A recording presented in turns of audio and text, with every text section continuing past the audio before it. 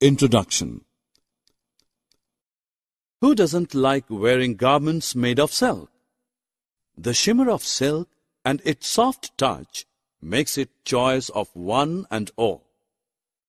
Silk saris of India are world famous. In India, silk is considered auspicious and is associated with festivals and celebrations.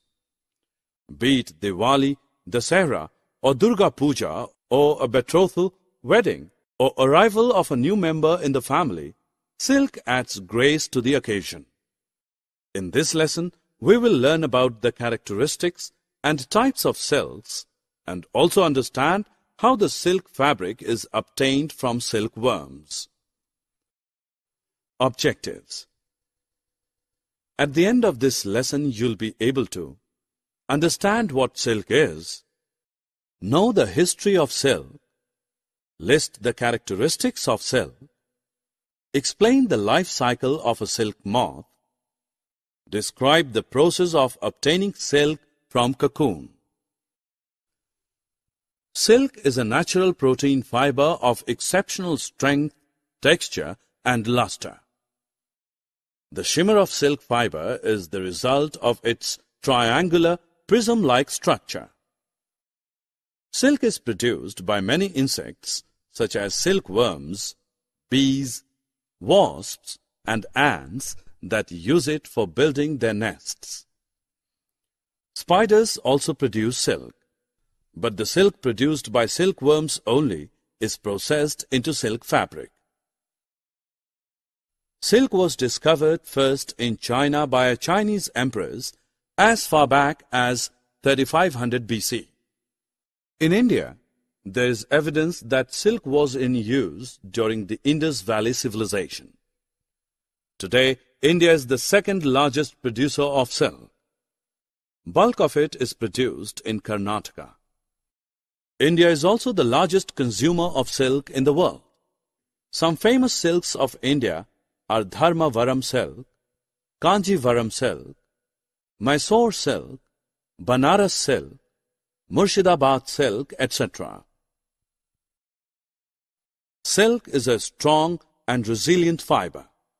It is soft to touch, but at the same time, it is not slippery. It has sheen and luster. It is hypoallergenic, that is to say, it causes less allergies in human beings. It absorbs moisture. Silk is warm in winters and cool in summers.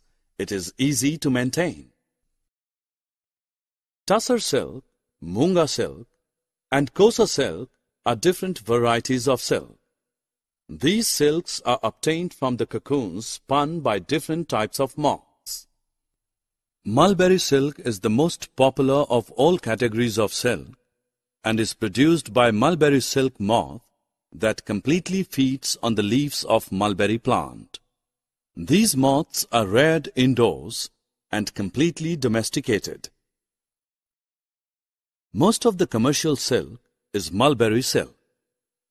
The silk obtained from the cocoon of this moth is soft, lustrous and elastic and can be dyed in beautiful colors. It is time to check what you have learned. Drag and drop the correct options into the blanks. The life cycle of a silkworm begins with the laying of a microscopic egg and ends with the emergence of a beautiful moth. Let's look at the different stages in the life cycle of a silkworm. The female silk moth lays tiny microscopic eggs at the end of summer. They remain dormant till spring.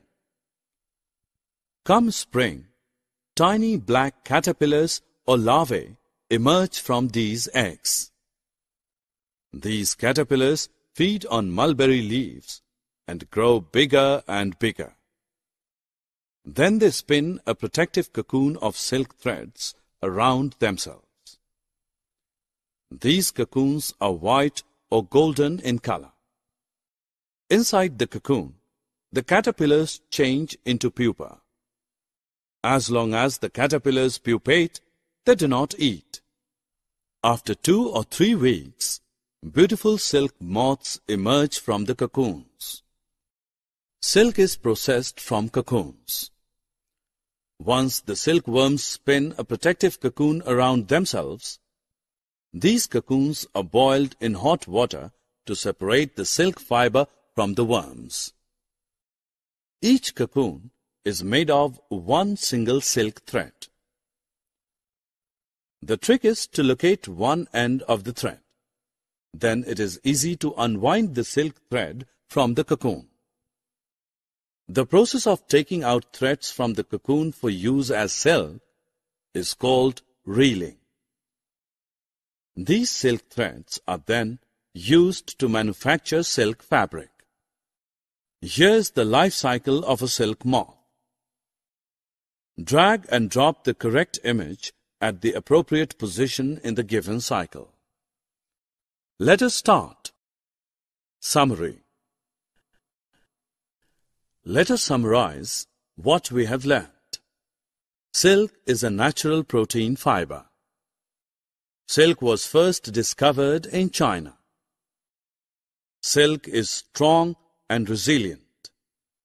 Silkworms are caterpillars of silk moth. Silk fiber is obtained from the cocoons spun by silkworms.